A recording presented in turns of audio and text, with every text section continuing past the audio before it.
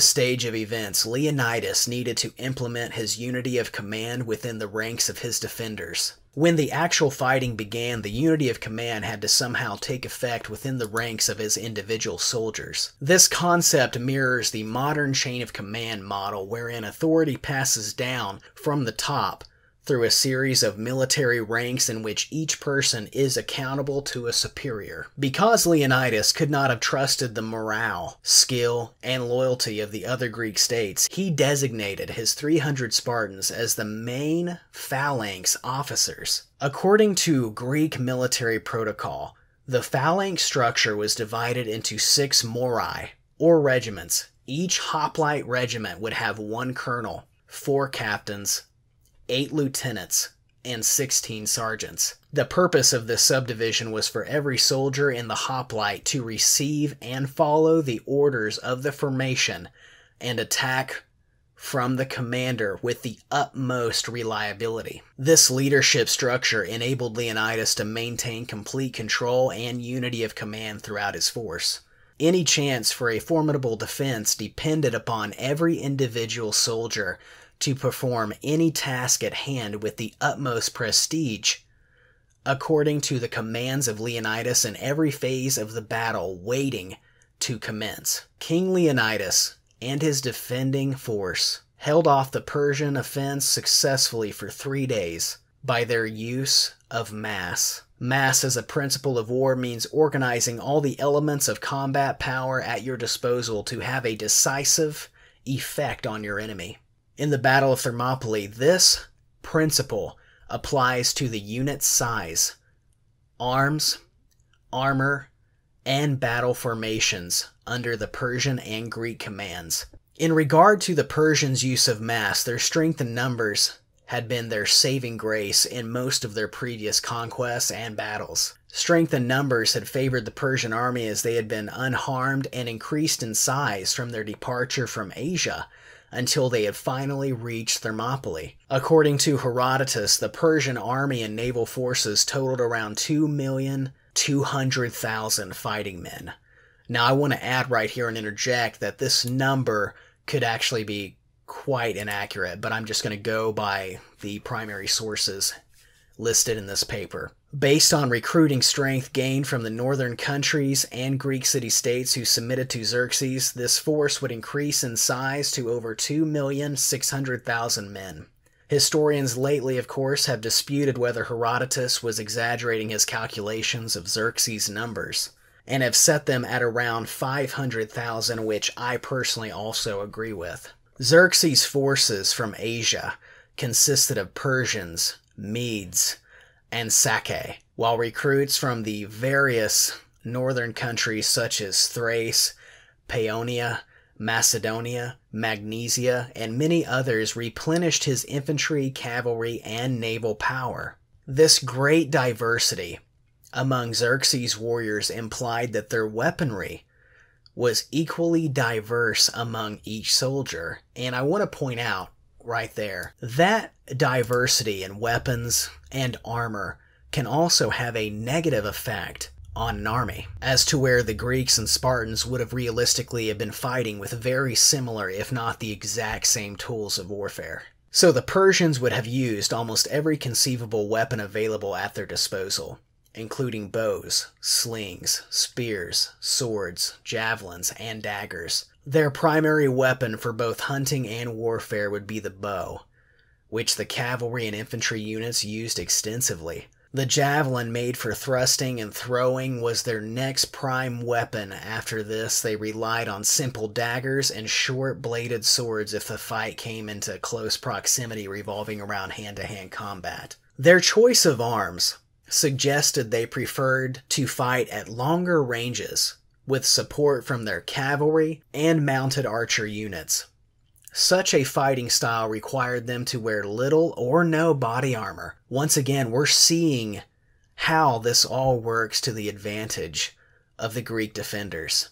They are already eliminating their ability to actively use cavalry. They're limiting the attack points in which the Persian army can use its missiles.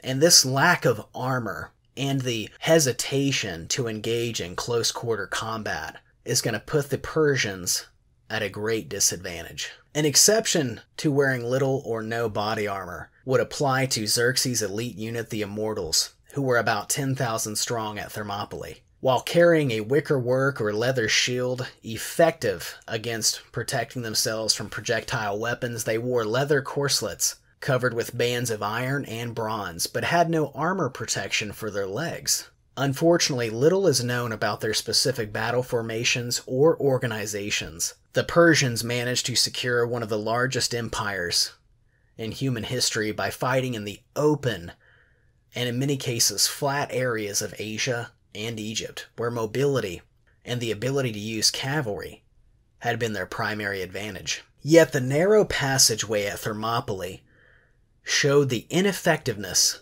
of this kind of warfare and proved hardly a match for the heavily armored Greek hoplite phalanx. Even with a limited fighting force, comprising around 4,000 warriors, even though the Spartans and their 300 typically get the most credit, I feel like sometimes the the rest of the Greeks are uh, unfairly left out of this battle. But let me get back on track here. The Greeks' method of fighting in the hoplite phalanx proved ideal in such a restricted area as Thermopylae presented. The basic principle of the phalanx was to form a wall of armor, with every soldier holding the shield in his left hand, protecting the right side of the neighboring soldier. This presented a line of shields and armor, able to deflect the onslaught of an oncoming assault. Appearance in battle was every bit as important to the Spartan warriors as their ability to fight. The Greek historian Xenophon, who served along with the Spartan army for many years after the Persian War, describes the appearance of one of these elite Spartan hoplite warriors. For the actual encounter under arms, the following inventions attributed to Lycurgus. The soldier had a crimson colored uniform and a heavy shield of bronze his theory being that such equipment had masculine association, and it's altogether warrior like. He further permitted those who were about the age of early manhood to wear their hair long, for so he conceived they would appear of larger stature, more free and indomitable, and a more terrible aspect. The appearance of just one of these heavily armored Spartan warriors must have looked intimidating indeed to the primitively clad Persians. The Greek hoplites generally used the Corinthian style helmet of bronze or iron that protected the entire head, face, and collarbone, which was especially vulnerable to a sword slash. The torso and trunk were either protected by a composite corselet of leather covered with metal scales, or two bronze plates covering the front and the back and laced together at the sides. The armored hoplites were still vulnerable to archer and missile fire, which the Persians used heavily. The hoplites were able to advance quickly on the Persians before they could fire their arrows, yet the best strategy was to remain stationary and wait for the enemy to charge into them. The main source of protection came from the heavy shields the hoplites bore made of wood and covered in bronze. The shield's average diameter, depending upon personal preference, was between 3 to 5 feet, enough to protect the neck down to the thigh. The hoplites also wore greaves carefully molded to fit their legs in case the shield missed a low sword slash. Being protected as thus, the hoplites stood prepared to slaughter the enemy close in with their simple but highly effective weaponry. With a wall of hoplite shields positioned forward in the phalanx, The principal weapon in such a tight formation was the famous bronze tipped, ash shafted spear, measuring six feet long.